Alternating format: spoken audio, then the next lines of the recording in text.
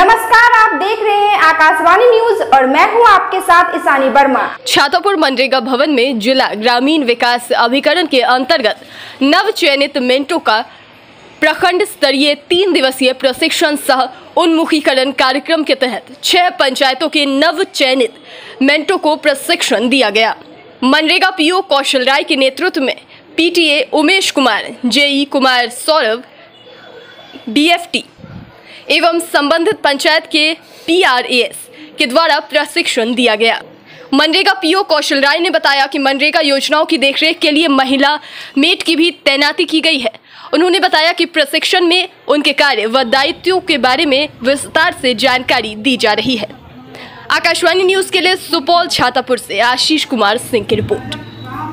ग्रामीण विकास विभाग बिहार सरकार द्वारा एक प्रोग्राम चलाया गया है, जिसमें इन मेठों का प्रशिक्षण दिनांक 22 पाँच 2023 से 25 पाँच 2023 तक ये प्रखंड स्तर पर देना है। शेष दो दिन सभी पंचायत में इनको व्यवहारिक और ज्ञान दिया जाएगा।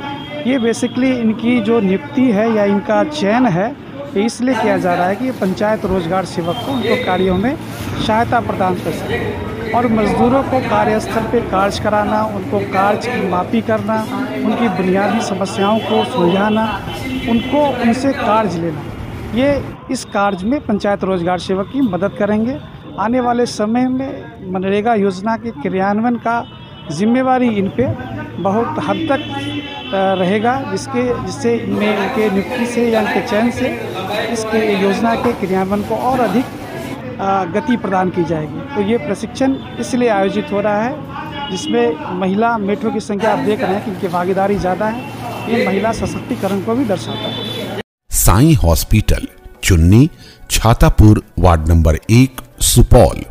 Mobile number seven zero six one five zero nine six four one और seven zero four two eight zero six double seven eight.